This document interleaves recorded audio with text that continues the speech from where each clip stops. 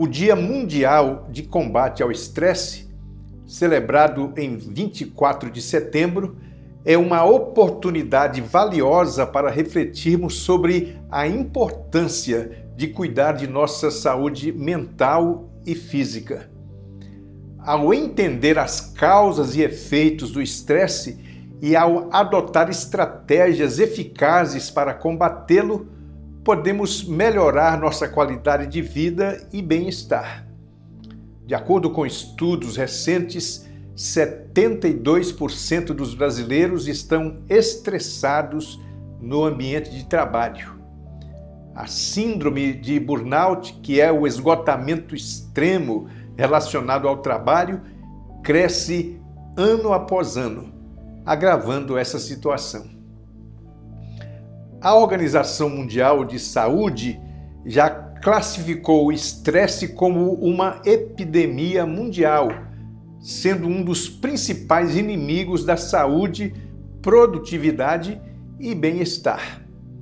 O estresse crônico pode ter efeitos devastadores na saúde física e mental, pois está associado a uma série de problemas, incluindo o aumento da pressão arterial, o risco de ataques cardíacos e derrames, o enfraquecimento do sistema imunológico, tornando o corpo mais susceptível a infecções e doenças, o desenvolvimento de transtornos de ansiedade, depressão e outros distúrbios de saúde mental, problemas digestivos e distúrbios do sono. Então, gerenciar o estresse é essencial para manter ter uma boa saúde e qualidade de vida.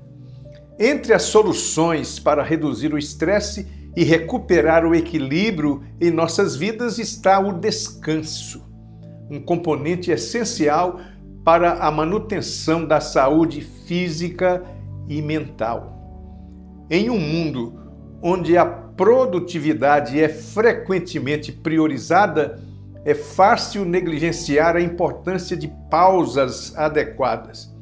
No entanto, ignorar a necessidade de descanso pode levar a um ciclo vicioso de exaustão e aumento dos níveis de estresse.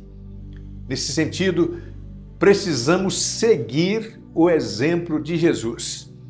Ele sabia parar Certa vez, em meio ao ritmo frenético de seu ministério, ele recomendou a seus discípulos que separassem um tempo para descansar, como está escrito no Evangelho de Marcos.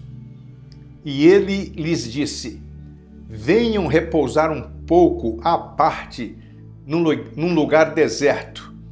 Isso porque eles não tinham tempo nem para comer visto serem muitos os que iam e vinham. Então foram de barco para um lugar deserto à parte. Observe o foco desta narrativa. Ao perceber o cansaço de seus discípulos, Jesus os convida a se retirarem para um lugar tranquilo e descansarem um pouco.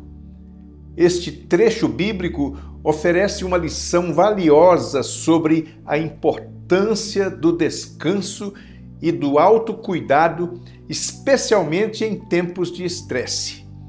No mundo moderno, é comum nos encontrarmos constantemente ocupados, sem tempo para pausas, o que pode levar ao esgotamento físico e mental.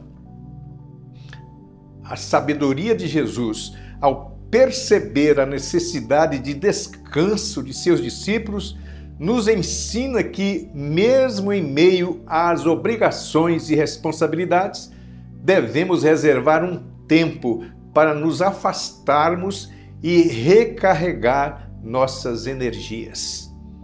Jesus sabia que o descanso permite que o corpo e a mente se recuperem das demandas diárias sem descanso suficiente, esses processos são interrompidos, resultando em fadiga acumulada e maior susceptibilidade a doenças.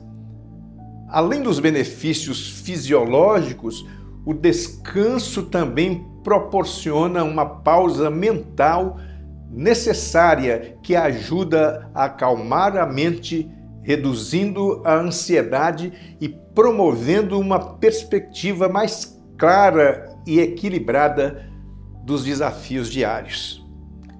Incorporar o descanso em nossa rotina diária não é um sinal de fraqueza ou preguiça, mas uma estratégia inteligente para aumentar a resiliência e a produtividade. Em resumo, o descanso não é um luxo, mas uma necessidade vital.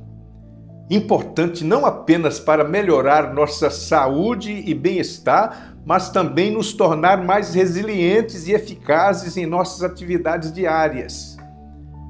Aprenda a parar. Tire férias. Inclua o descanso em seu projeto de vida reconhecer e respeitar a necessidade de descanso é um passo fundamental para uma vida mais equilibrada e menos estressante. Quero terminar destacando que o convite de Jesus para descansar não é apenas um chamado físico, mas também espiritual e emocional. Ele nos lembra que cuidar de nós mesmos é essencial para que possamos continuar a viver plenamente. Incorporar momentos de descanso e reflexão em nossa rotina diária pode nos ajudar a enfrentar o estresse com mais resiliência e paz interior.